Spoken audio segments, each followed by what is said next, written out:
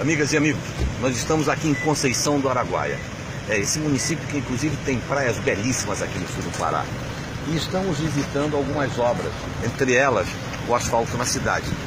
Que a gente está fazendo, como em vários outros lugares, em parceria com a prefeitura, com o apoio dos vereadores. E aí é importante que todos tenham claro que aqui, inclusive, o, o município, o prefeito, é de um partido que não faz parte da nossa base.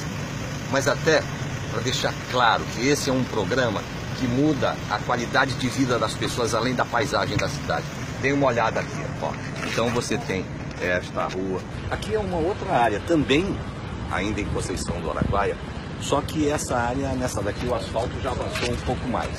Aqui está faltando meio fio e sarjeta. Aqui já está com meio fio e sarjeta. Aqui é uma questão só da sinalização. Mas veja, esse é um programa que desde 2004 nós implantamos e é um programa exitoso, que tem mudado muito o perfil, tem mudado muito a cara, tem mudado muito a paisagem física, mas a paisagem humana também das cidades. Porque na hora que você prepara, as pessoas começam a ter um pouco mais de cuidado com a frente das suas casas, daqui a pouco cada um começa a fazer a sua calçada e você muda exatamente a qualidade de vida das pessoas.